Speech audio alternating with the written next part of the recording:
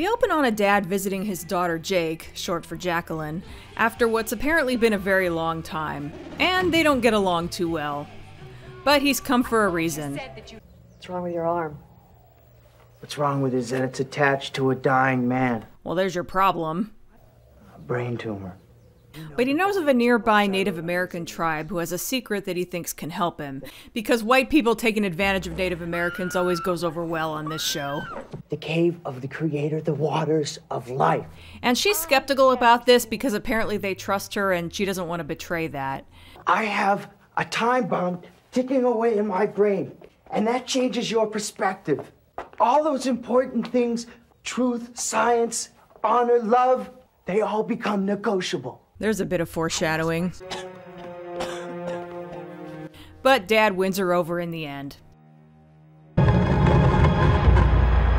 Neat statue. Don't touch it. Afraid it's gonna bite? It's a matter of respect. It turns out that there's a shaman there named Suspando, who knows them but isn't crazy about them being there. You broke a promise to us. Suspando, my father is sick. He's dying. I The promise you made is more important than the life of your father. Bardano Da, the god of forever, demands true faith of those who drink of these waters. But yeah, the dad drinks the water and it de-ages him. In my hand.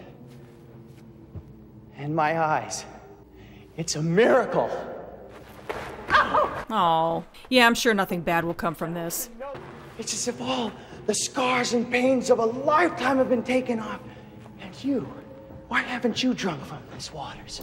Yeah, good question. This task has come down from father to son since my people first came to this land. To guard, to serve, and to die. But if you can drink and live, how can you choose to die? It's an act of faith. Dad starts talking about bottling the water and selling it. Ah, here we go. And now he's aged back to where he was before. Don't drink anymore. Don't you understand? It's a cheat. And now Jake just wants to take him home. How much do you love your daughter? What? Those he takes into his service are given the gift of long life. But there is a price. The god gives of his body to the pool.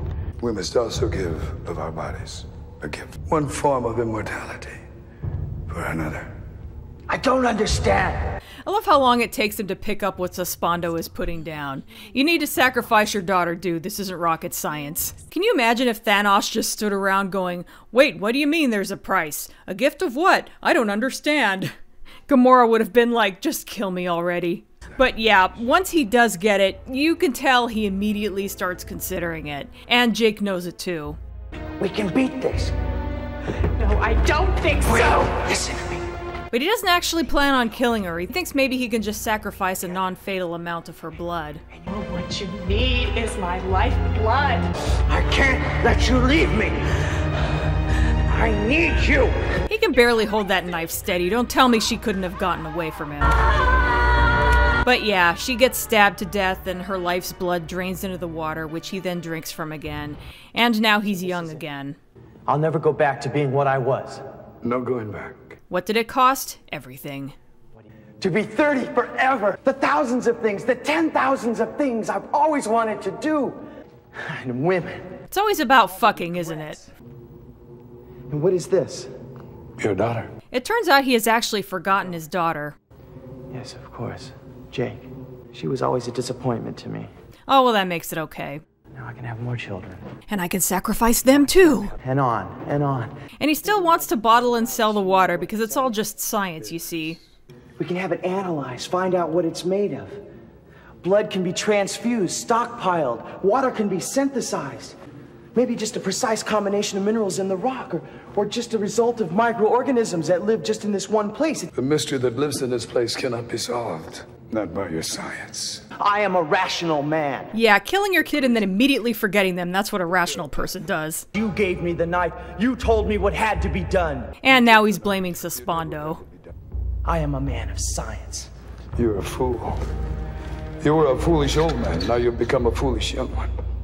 He's gathered some of the water in a flask, but Suspando isn't about to let him leave with it. You spoke to me about my fear of death. power back's yours. And now that arthritis is coming back again. Soon you will be as the both of them. Or maybe it's something else.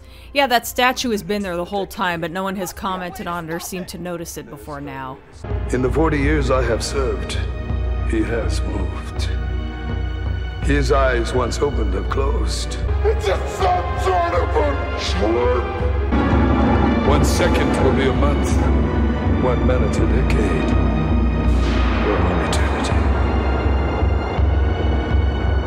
So ends half as old as time. This episode is Eh, technically not that great. It's very straightforward and pretty predictable. The second the shaman mentions there being a price for using the water, of course it's going to be that the man has to kill his daughter, who is right there. And the way that happens is kinda lame. She should have been able to fight back, or maybe he could have tricked her or something, rather than her just standing there and letting herself get stabbed to death. But I'll give the episode credit for not ending there like I would have expected. I thought he was gonna be like, What have I done? and then cut to credits. Though we did see the whole turning to stone thing in the last episode that dealt with white people trying to take advantage of Native Americans. That said, though, I still found it fairly entertaining. The actors did a good job, and the Native American shaman was compelling to watch. It wasn't offensive or anything, just not particularly good. There isn't even really a monster to speak of. They do talk about a god that's represented by a statue of a giant snake, but it doesn't ever show any sign of life or anything. The director and writers didn't do anything notable. The dad was played by Leif Garrett, who is apparently a musician and character actor, but hasn't been in anything I've seen. Jake was played by Valerie Wildman, who is mostly known for playing a main character in Days of Our Lives and a recurring character in Beverly Hills 90210. Suspando was played by Nick Ramus, who played a recurring character on Falcon Crest and ended up playing another one in Dr. Quinn Medicine Woman. I guess that's about all I have to say about this one. Sorry this is so short, but I haven't made a monsters video in over a year. Cut me some slack.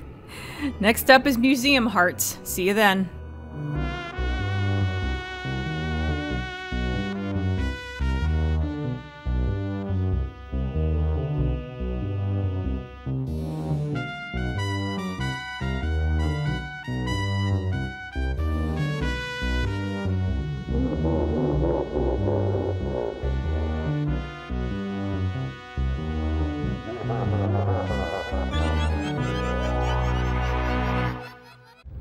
You white men have forgotten to fear your gods, but we have not. A god is a thing of blood, fire.